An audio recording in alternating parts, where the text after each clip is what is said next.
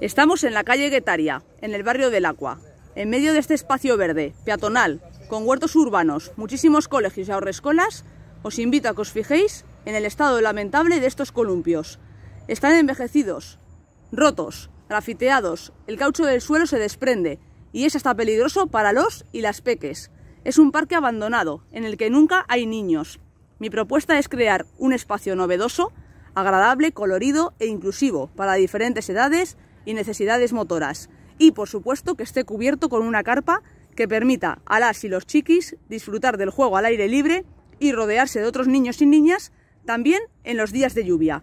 Te animo a que votes esta propuesta, ya que la difundas todo lo que puedas. Yo me comprometo a aprovechar esta oportunidad que nos da Obetus, con el programa Mejorando Vitoria Gasteiz, porque todos los aprendizajes más importantes de la vida se hacen jugando. ¿Me ayudas?